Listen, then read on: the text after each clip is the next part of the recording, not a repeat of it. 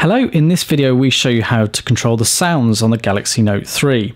So from the home screen with it powered on, one little way of controlling the sounds, or more specifically the volume, is by pressing the volume key on the side of the device here. So primarily you'll get the phone icon come up and that relates to the phone ringtone, how loud it is. Now, if you're in a music application, that will relate to the media um, volume, but you can go into the settings by when you press this button, clicking on the little settings icon here, and you've got more control think of it as a quick shortcut into some of those settings and you can control them here. So we can control the phone ringtone, we can control the media, so that's music and video on the device, how loud that is, notifications such as text messages and email, and then just general system taps and alerts, how loud that is. So you can customize all of these individually and all of these are able to change by pressing the volume keys depending on what application you're actually in. But another way to control them is from dragging down at the top from the notification bar, click settings, click device and click sound and then you have a lot more control over the sound and also vibration of your device. So let's just quickly go through this menu.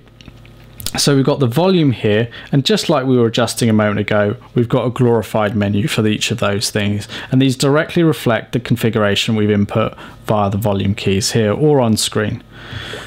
We can then change the vibration intensity for different things, so an incoming call, notification, or when we're typing on screen with haptic feedback. So you can control this uh, to what you desire or completely turn it off by sliding it right down like so. You then have your ringtones, which we'll cover in another video, but that includes uh, vibrations as well and what the default notification sound is. You can decide whether you have a vibrate when ringing, and you can also control a lot of the sounds for doing different things. So when you're using dialing pad will there be a tone? When you uh, screen lock the device will there be a tone?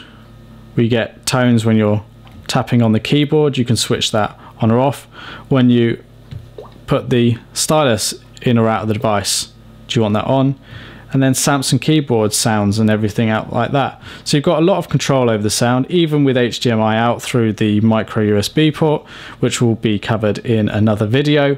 Um, but you've got lots of options there regarding sound and even adapt sound, which is an intelligent part of the Note 3, which will uh, change the settings uh, to, to basically give you the best sound experience that you actually can, as explained on screen here. So that's how you control some of the sound and volume settings on the Galaxy Note 3.